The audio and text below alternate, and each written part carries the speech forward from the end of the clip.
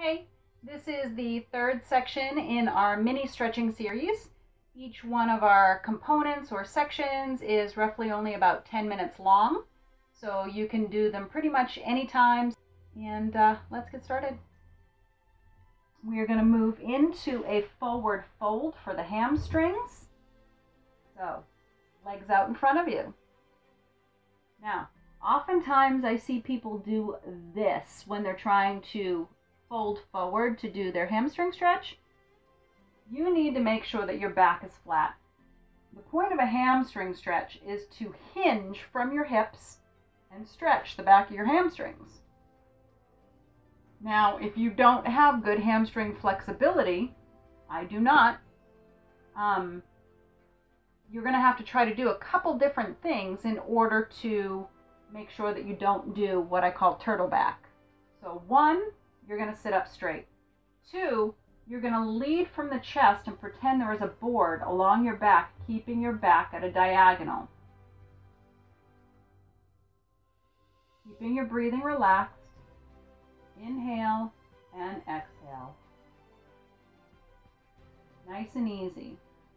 Now, if this is not working for you, you can take your hands and place them on the outsides of your hips and press with your arms, however it is comfortable, you find the position where your elbows are comfortable, your hands are comfortable, and you press forward. Keep your chest lifted. Keep your breathing relaxed, in through your nose, out through your mouth. Your head should be neutral, in line with your spine. As you saw, I have a tendency to lift my head even though I know I shouldn't. I don't know if it's just that I'm zoning out or whatever, but I do try to correct myself and make sure that my head is neutral. And then the third possibility, if that is too much, is you can do one leg at a time. You can bring one foot in.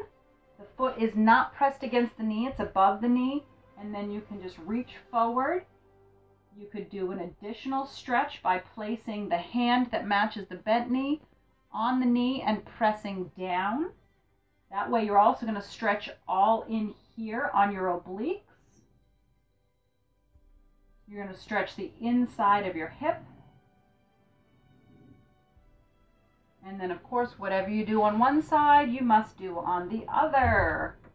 So as we lean forward, I will press my free hand against my bent knee. I will lean forward. I will make sure that I'm not turtle backing. I'm pressing through with my chest, keeping both butt cheeks on the floor. Head is neutral.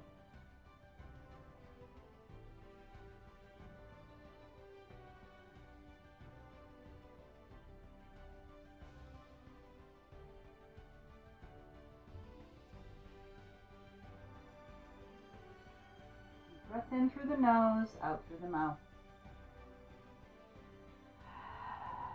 And relax. The next pose for hamstrings is going to be gate pose. So that is keeping one leg underneath us. And then you're going to extend the second leg with your heel and the bottom part of your foot actually against your floor. One hand on your hip, and then you're going to take the opposite hand and you're going to reach over.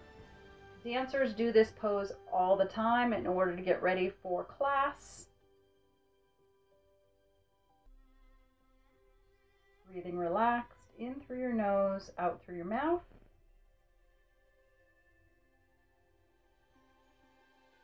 And you should feel that all down the inside of your hamstring as well as all through the outside of your torso up into the arm, armpit.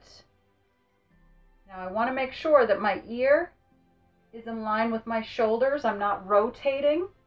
I'm trying to come over and make a half crescent.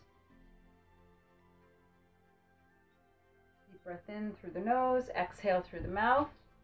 Switch feet. scooch over a little bit so I don't go knocking myself off the mat. I'm going to extend my, my other leg Keep my hip in line with my knee.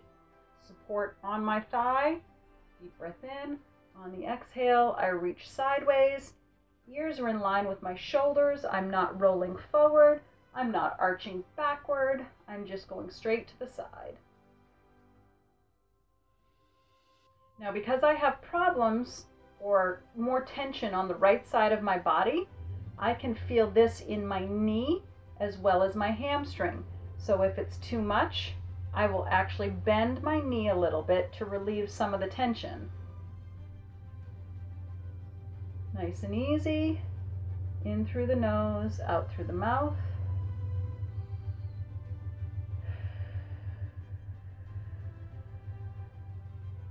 Deep breath in. On the exhale, we go ahead and release and come back to neutral. For the hip flexors, we are going to go into bridge and then we will change position and go into a low lunge. So for bridge, we come down to the floor. Feet are flat. Head is neutral, so my chin is a fist distance from my chest. My lower back is heavy into the floor. I'm going to use the palms of my hands as kickstands or balance or whatever you want to call it. When I press up, I'm pressing through my heels and pushing against my hip flexors. This should stretch all the way up the front of your thighs, quads. I'm engaging my buns and my abs to do the work, not my back. Keep the breathing relaxed, in through the nose, out through the mouth. Keep the buns engaged, hamstrings engaged, keep the abs engaged, keep the head neutral. If you feel this in your lower back, take a break. If you feel it in your knees, take a break. Keep the breathing relaxed in through your nose, out through your mouth. Remember, it is all along the back of the leg and the buns and the abs that are holding that position. Back by default, but you are not pushing through your back to do this.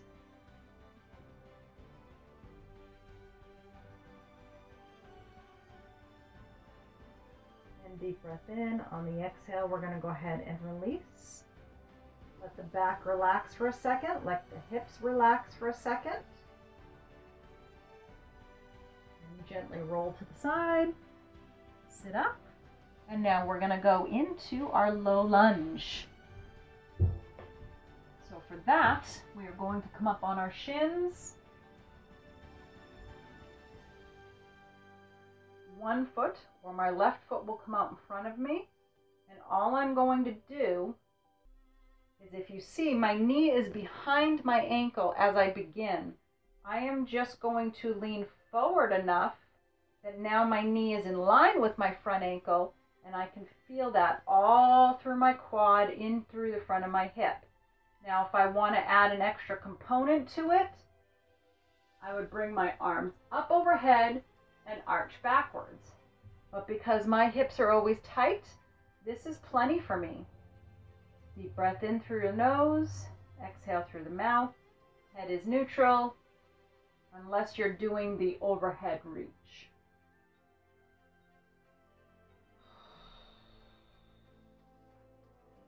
Nice and easy.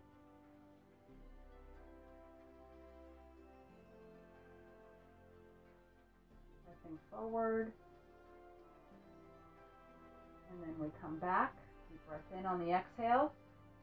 Be careful not to move quickly. You don't want a Charlie horse. Switch legs. Bring the right foot out. See that my knee is starting behind my ankle. And I am just pressing forward until the knee is in line with the ankle.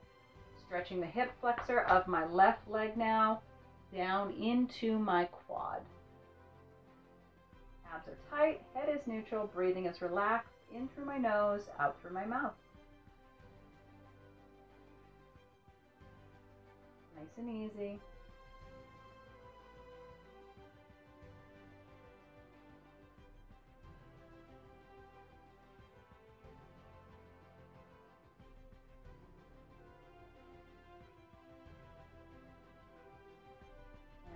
Gentle on the release.